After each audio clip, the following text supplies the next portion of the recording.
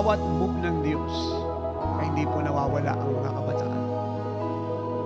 Young people is a great role to play. Hanggang ngayon siya ay hindi na babago. Siya pa rin yun. Kaya nga totoo nga yung kasabihan, young leaders today are also the leaders tomorrow. At yung pong ginagawa ng Diyos ng mga tagapanguna bukas ay siya mga nakahanda ngayon.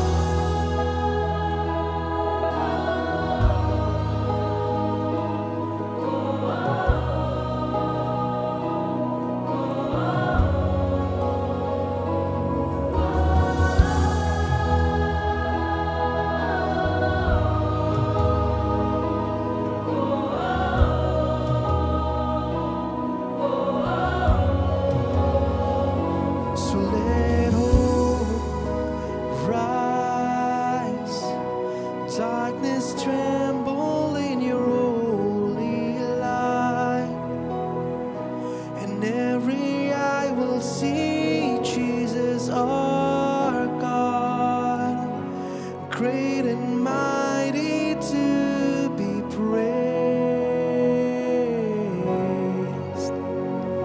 So let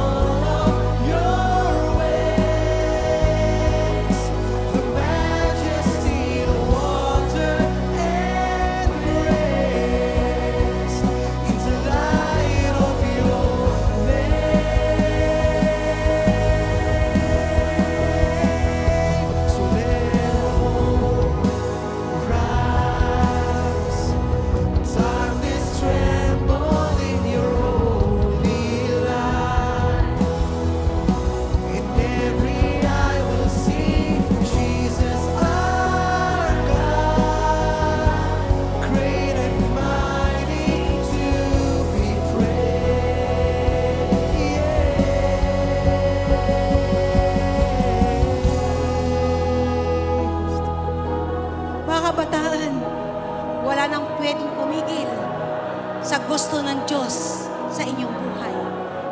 No one can stop the unstoppable. No one can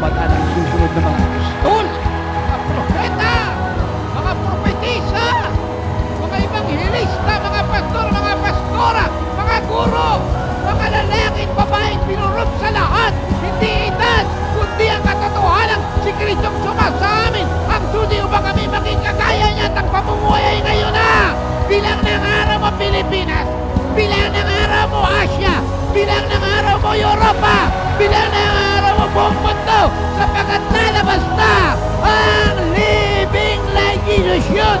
Basta kila kaysa nakalipas, basta mga mga kaysa nakalipas, wala magaya kaysa nakalipas, kulang 7.7 bilyong tao sa lalabas na mga flaming anti-apostolic prophetic living life revivalist kayong pinakamakapangilang tao na bumuhay sa ibabaw ng lupa. You become mighty God.